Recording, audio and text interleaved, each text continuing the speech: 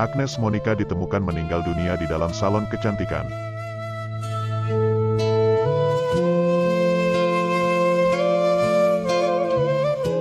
Inailahi, wa inalillahi rojiun.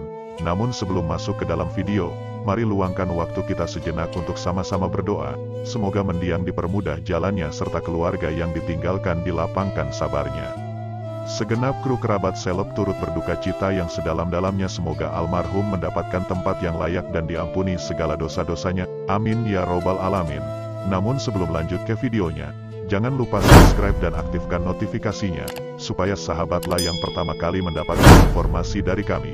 Jika sudah mari ke videonya, tonton hingga akhir biar tidak terjadi kesalahpahaman. Dikutip kerabat seleb dari artikel banjarhits.id, Banjarmasin, terjadi di kawasan Jalan Stadion Lambung Mangkurat, Jalan Ahmad Yani kilometer 5, Kota Banjarmasin. Di situ ditemukan mayat yang menggegerkan warga setempat.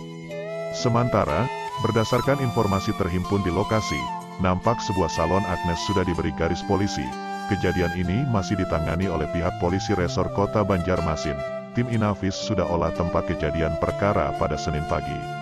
Agnes merupakan sosok yang mudah bergaul dengan warga di sekitarnya.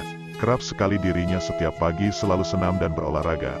Ternyata berdasarkan kesaksian, yang diketahui korban ialah yang bernama Risa Febria Rusadi akrab dengan panggilan Agnes Monica, 38 tahun.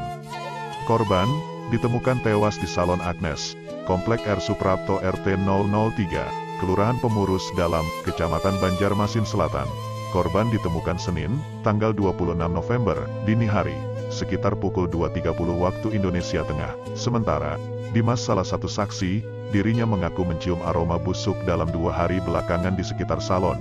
Ia menduga bau busuk berasal dari bangkai tikus.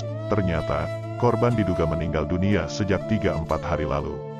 Saya kaget juga, tiba-tiba polisi menemukan mayat Agnes membusuk di dalam salonnya. Ujar Dimas, dari sumber saksi lainnya mengatakan Agnes kerap menerima tamu pria ketika di malam hari di salonnya. Demikian informasi yang kami dapat, korban tersebut adalah warga Komplek R Suprapto RT 003, Kelurahan Pemurus Dalam, Kecamatan Banjarmasin Selatan. Terima kasih banyak atas menonton videonya, jangan lupa subscribe, like dan komen. Sampai jumpa di video selanjutnya.